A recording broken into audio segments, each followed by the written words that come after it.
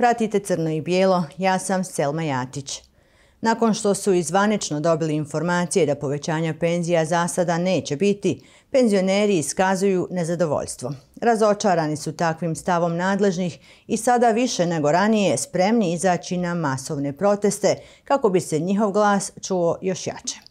Ipak, zbog prihvatanja drugih zahtjeva, predstavnici penzionera prolongirali su datum održavanja protesta. Detalje donosi Adnan Čebić. Fehrija je penzionirka sa minimalnim primanjima, kakva ima i njen muž. Kaže, teško je u ovom vremenu živjeti bez odricanja i u njenom slučaju bez pomoći sina. Nezadovoljna je zbog stava nadležnih da neće biti povećanja penzija za sada. Pa ja sam se razočarala, nemamo ja govore, mislim ja ne mogu da reći da će biti povećanje, a sad pogotovo pred izbore, nema šanse.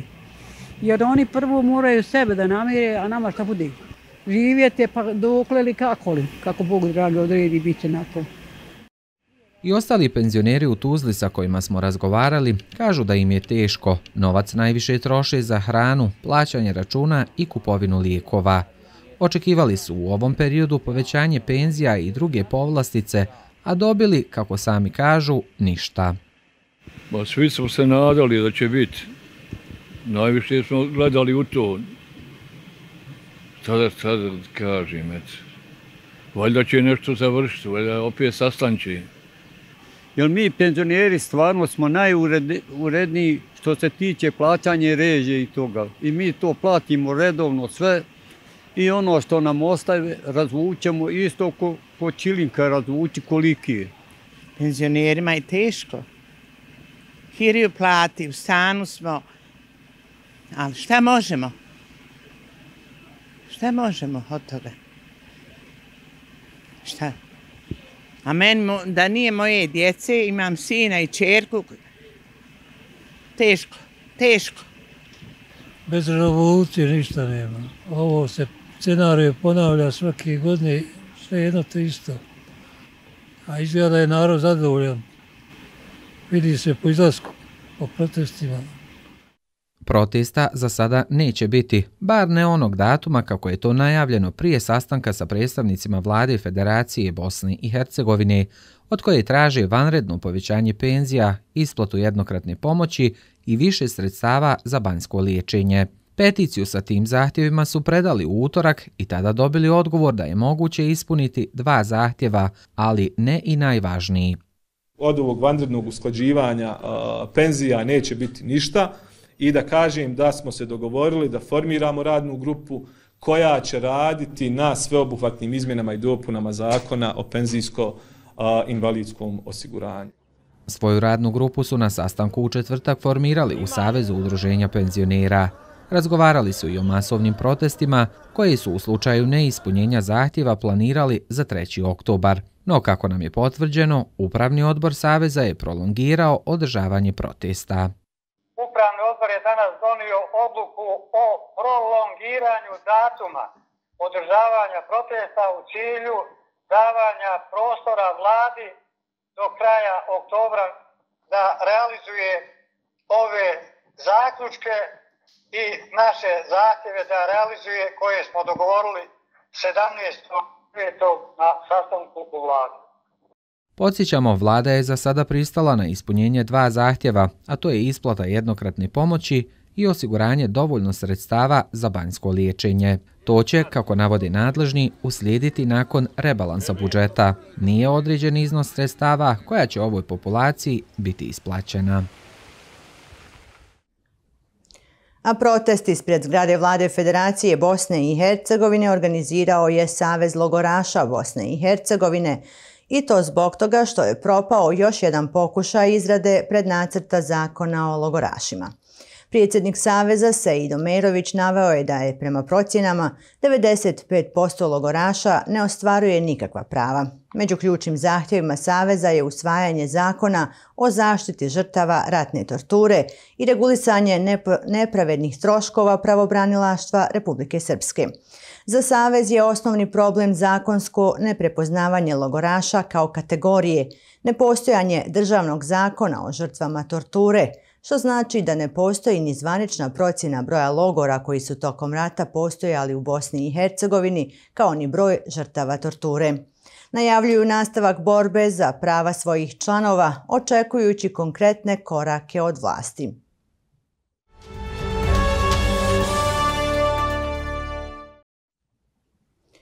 U razdoblju od 22. jula do 15. septembra koalicija pod lupom zabilježila je ukupno 1059 izbornih nepravilnosti, od čega se najveći broj odnosi na zloupotrebu javnih sredstava i resursa, preuranjenu izbornu kampanju i nepravilnosti pri formiranju biračkih odbora.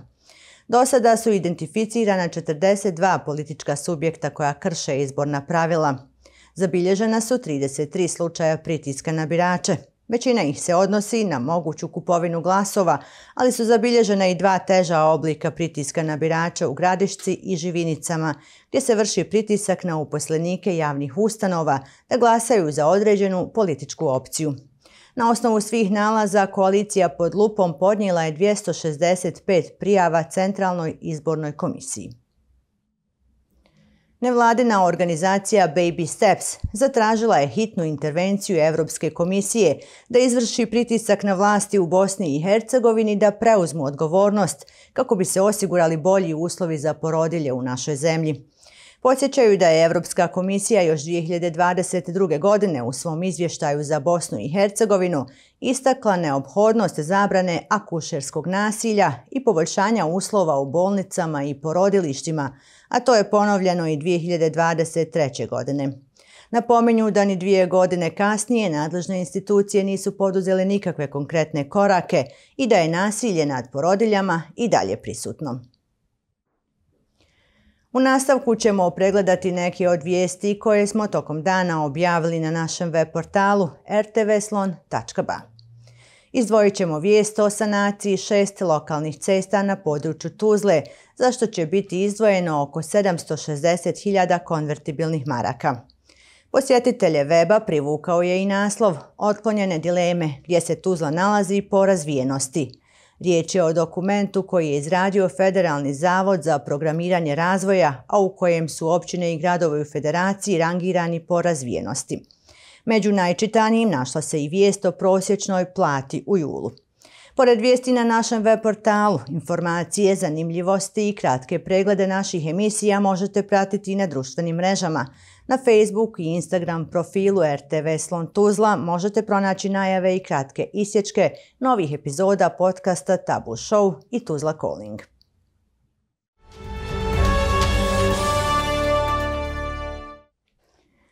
Nakon 43 godine Vatikan je donio odluku o Međugorju.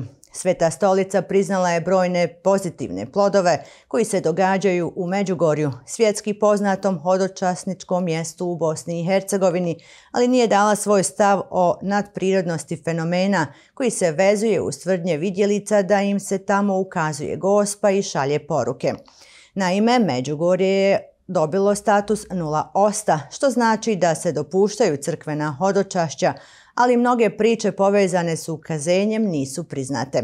Odluku je na konferenciji za medije saopštio službenik dikasterija za nauk vjere Viktor Fernandez, a objavljena je i u pisanoj formi. Dokument ne govori o nadprirodnosti, ali priznaje obilne duhovne plodove koji se odnose na župu Svetište Kraljice Mira, te daje uglavnom pozitivno mišljenje o porukama uz nekoliko pojašnjenja. Navodi se da je međugorsko iskustvo donijelo brojne pozitivne plodove i nije proširilo nikakve negativne i rizične učinke. Sadnja drveća i tekako je važna za očuvanje okoliša, a tokom vrelih ljetnih dana svi smo se uvjerili koliko hladovina jednog drveta znači. Da bismo u budućnosti što više uživali o blagodetima drveća, pobrinuli su se učenici Katoličkog školskog centra Sveti Franjo Tuzla. Oni su uz podršku Rotari kluba i Eko života na Panonskim jezerima posadili više od 70 sadnica drveća. Andrej i Ela prijatelji su iz školskih klupa. U školi kažu zajedno uče, a izvan škole trude se da doprinesu zajednici. Ovoga puta to su učinili kroz projekat sadnje drveća na Panonskim jezerima. Nakon što su i drugima predstavili svoju ideju, dobili su sredstva i ubrzo krenuli u realizaciju projekta. Pa su tako sa ostalim školskim drugarima posadili više od 70 sadnica magnolije na kompleksu Panonskih jezera. Projekat je bio da posadimo oko 50 magnolija po prostor panonskih jezera i nakon što smo dobili sredstva mogli smo posaditi oko 75. To je bilo u e, rasponu oko dvije godine. Njegova drugarica Ela kaže da su na ovaj način željeli mladima probuditi svijest o očuvanju okoliša. Smatramo da je to jedno od najbitnijih projekata upravo to pošumljavanje i povećavanje zelenila u našem e, gradu, pogotovo ovdje na Panonci gdje dolazi dosta turista i tijekom ljeta, tako da mislim da je dosta bitno pokazati drugim ljudima kako i mladi ponekad znaju razmišljati u tom pogledu. To je cilj i organizacija koje su pomogle ovaj projekat. Entuzijazam ovih mladih ljudi prepoznali su Rotary klub i Eko život Tuzla, koji su im osigurali sredstva za provedbu ovog ekološkog projekta. Onda smo napravili taj projekat e, osvišavanje mladih o zaštiti okoliša i životne sredine sa idejom da omladina u stvari e, napiše projekte šta bi oni uradili i kako bi uradili u svom okruženju da poboljšaju e, uvjete našeg života po tom pitanju na tu temu temu i bili smo prijatno iznenađeni koliko mladi imaju ideja, imaju sluha za tako nešto. Samo treba više edukacije da se uvede u svakodnevno obrazovanje i mislim da bi mogli postići veći uspjeh. Na tome dodaju iz Rotary kluba rade već dvije decenije, a nastavit će i u budućnosti. E, imali smo dosta prekata u prošlosti, e, koji su baš namijenjeni mladima. Tipa jedan projekat je bio podizanje svijesti E, mladih o starima, pa smo imali projekat sa, znači, sa ovaj, domom penzionera da mladi budu svjesni da neka će oni biti stari, da s tim starim ljudima ovaj, koji su treći u životnoj dobi na neki svojevrstan način pomogne. Mi smo stalno ovaj, uključeni u tekuća e, dešavanja. Ovo je projekat ekološki koji ćemo zajedno s ekoživotom opet proširiti, vidjet ćemo ovaj, samo u kojem će smjeru to otići. Zahvalnost učenicima, kao i organizacijama koje su podržale ovaj projekat, odata je i tako što je postavljena tabla na kojoj piše ko je sve doprinio obogaćivanju zelenila na Panonskim jezerima. U Ministarstvu za kulturu, sport i mlade Tuzlanskog kantona upriličan je prijem za članove reprezentacije Bosne i Hercegovine u sljedećoj odbojci i to trenera Ejuba Mehmedovića i igrača Ermina Jusufovića. BH reprezentacija je osvojila srebrenu medalju na nedavno održanim paraolimpijskim igrama u Parizu. Prilikom prijema ministrica za boračka pitanja i ministar za kulturu, sport i mlade su istakli da podrška ovoj reprezentaciji i igračima – neće izostati ni u budućnosti. Ovog rezultata sigurno ne bi bilo da nije ovaj našeg ligaškog takmičenja i pomoći od Ministarstva sporta i Ministarstva odboročka pitanja. Jer sigurno da njih nije bilo, ne bilo ovog rezultata u reprezentaciji, jer svi klubovi crpe sredstva da bi se održala ovaj kontinuitet u igranju i, i dobroj poziciji na tabeli od Ministarstva sporta i Ministarstva odboročka pitanja.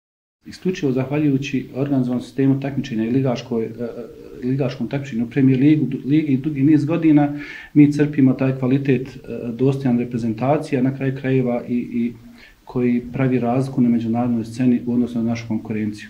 I Ministarstvo za kulturu, sport i mladi i Ministarstvo za boračka pitanja dugi niz godina prate i podržavaju sva ova naša nastojanja da budemo i, i bolji sportsti i bolji ljudi.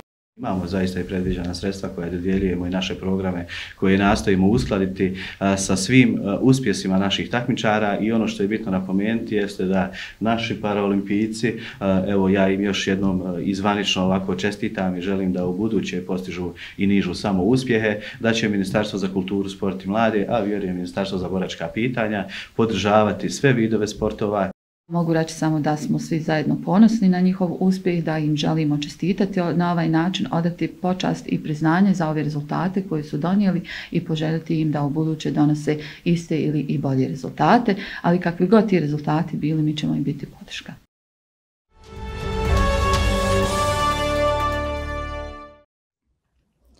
Futbaleri Slobode sutra gostuju ekipi Igmana u okviru utakmice sedmog kola Premier Lige Bosne i Hercegovine.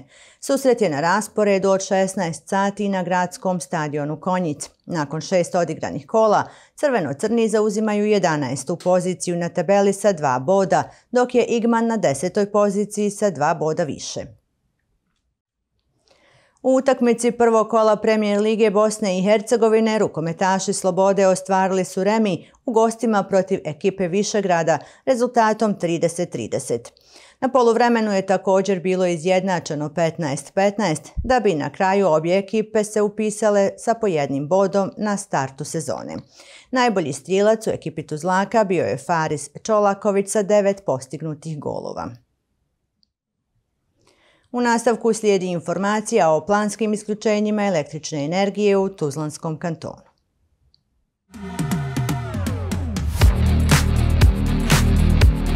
Zbog planiranih radova na elektrodistributivnoj mreži doći će do prekida u snadbijevanju električnom energijom. 29. petak na području grada Tuzla u naseljima Donja Obodnica, Avdibašići, Petrovići, Bakaluše, Nikolići, Hidani, Crnoblato, Brđani, Dvor, Lameše, Cerik, Dolovi, Kozlovac, Solina, Martinovići, Sekin, Dokanj, Svojtina, Grabovica, Mala Solina, Kosti, Gornja Grabovica, Srednja Grabovica i Tetima u vremenu od 8.30 do 15.30.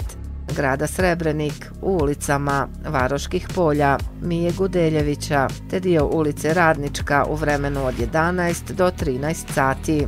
U naselju Zubovo brdo u vremenu od 14.30 do 15.30 grada Gračanica u naseljima Grabovac u Gračanici i naselje Stankove bare u vremenu od 9 do 9.30 i od 15 do 15.30. Općine Kladanj u naseljima Vitalj, Mesnjača, Gojsalići i Starić sela u vremenu od 10 do 12 sati. Općine Kalesija u naseljima Rožanj i Skakovica u vremenu od 9 do 14 sati.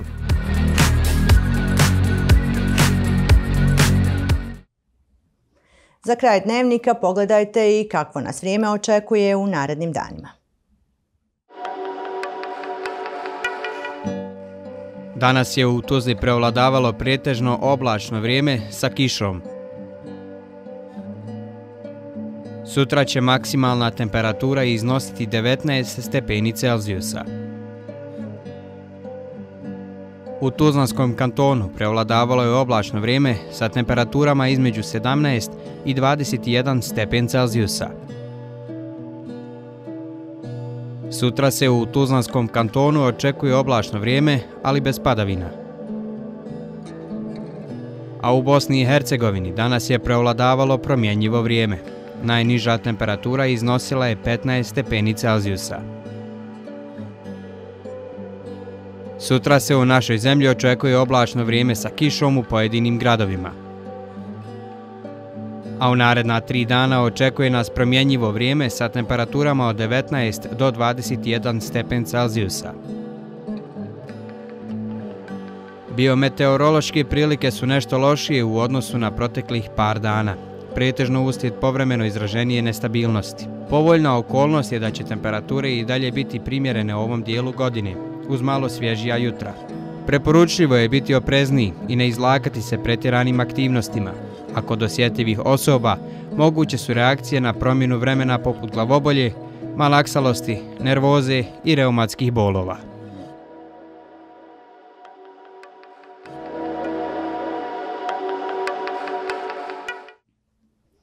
Pratili ste Crno i Bijelo. Više vijesti potražite na našem web portalu rtvslon.ba. Možete nas pratiti i na društvenim mrežama Facebook i Instagram. Hvala vam za pažnju i do gledanja.